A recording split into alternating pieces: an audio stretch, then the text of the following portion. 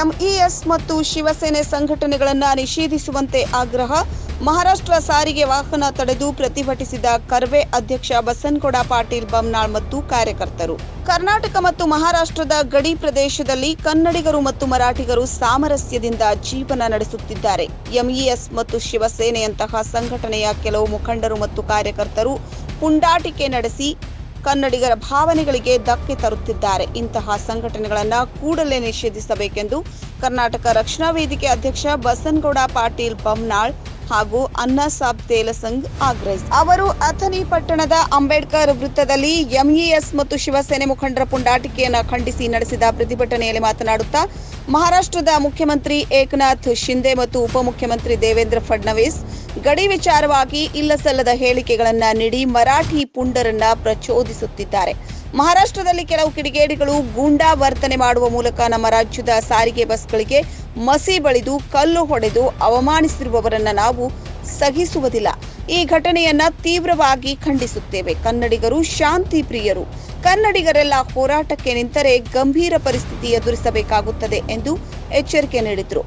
ಮಹಾರಾಷ್ಟ್ರ ನಾಯಕರ ವಿರುದ್ಧ ಘೋಷಣೆಗಳನ್ನು ಕೂಗಿದ ಕರ್ನಾಟಕ ರಕ್ಷಣಾ ವೇದಿಕೆ ಕಾರ್ಯಕರ್ತರು ಮಹಾರಾಷ್ಟ್ರ ಸಾರಿಗೆ ಬಸ್ಗಳನ್ನು ತಡೆದು ಚಾಲಕ ಮತ್ತು ನಿರ್ವಾಹಕರಿಗೆ ಕನ್ನಡ ಬಾವುಟಗಳನ್ನು ನೀಡುವ ಮೂಲಕ ವಿನೂತನ ಪ್ರತಿಭಟನೆ ನಡೆಸಿದ್ರು. ನಂತರ ತಹಶೀಲ್ದಾರ್ ಸುರೇಶ್ ಮುಂಜೆ ಅವರ ಮೂಲಕ ರಾಜ್ಯ ಸರ್ಕಾರಕ್ಕೆ ಮನವಿ ಸಲ್ಲಿಸಿದ ಕರ್ವೆ ಮುಖಂಡರು.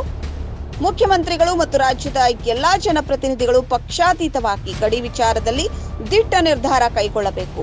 ಸೊಲ್ಲಾಪುರ್, ಅಕ್ಕಲಕೋಟ್, ಲಾತೂರ್ ಮತ್ತು ಜತ್ ತಾಲೂಕಿನ ಅನೇಕ ಗ್ರಾಮಗಳ ಕನ್ನಡಿಗರು ಮೂಲಭೂತ ಸೌಕರ್ಯಗಳಿಂದ ವಂಚಿತವಾಗಿದ್ದಾರೆ. ಮಹಾರಾಷ್ಟ್ರ ಸರ್ಕಾರ ಗಡಿನಾಡಿನ ಕನ್ನಡಿಗರಿಗೆ ತಾರತಮ್ಯ ಮಾಡುತ್ತಿದೆ. ಸರ್ಕಾರ ಕನ್ನಡಿಗರ ಮತ್ತು ಕನ್ನಡ ನಾಡಿನ ಹಿತಾಸಕ್ತಿ ಕಾಪಾಡುವಲ್ಲಿ ಮಹತ್ವದ ಹೆಜ್ಜೆಯನ್ನ ಇಡಬೇಕು. ಗಡಿನಾಡು ಕನ್ನಡಿಗರ ಸಮಸ್ಯೆಗಳಿಗೆ ಸ್ಪಂದಿಸುವುದರ ಜೊತೆಗೆ ಗಡಿ ವಿಚಾರದ ಬಗ್ಗೆ ಸರ್ವ ಪಕ್ಷಗಳ ಮತ್ತು ಕನ್ನಡ ಹೋರಾಟಗಾರರ ಸಭೆ ಕರೆದು ಚರ್ಚಿಸಬೇಕೆಂದು ಒತ್ತಾಯಿಸಿದ್ರು.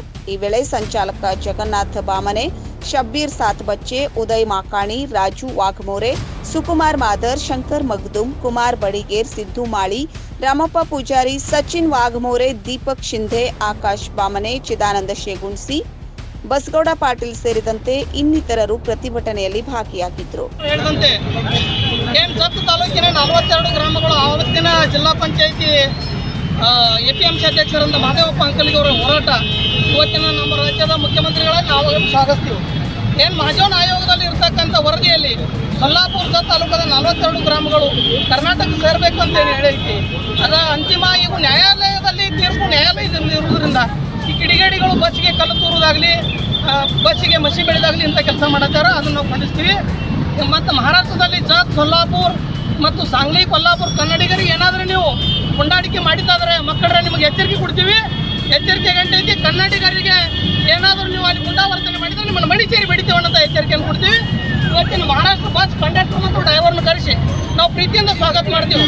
ಮತ್ತು ಅವರು ಇವು ಓಡಾಡುವ ಈ ರಾಜ್ಯ, ಆ ರಾಜ್ಯ ಇಬ್ಬರು ಅಕ್ಕ ತಂಗಿದ್ದಂಗೆ ಅಣ್ಣ ತಮ್ಮ ಇದ್ದಂಗೆ.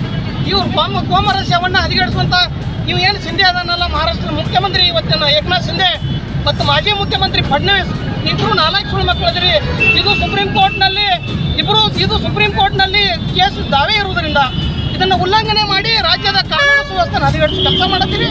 ಕಾನೂನನ್ನು ಕೈಯಲ್ಲಿ ತಗೊಳ್ಳೋ ಕೆಲಸ ಮಾಡತ್ತೀರಿ. ನಾವೆಲ್ಲರೂ ಕೂಡ ಸಿದ್ದಯ್ಯ ಹಿರೇಮಠ್ ಸತ್ಯಂ ನ್ಯೂಸ್ ಕಾಗವಾಡ.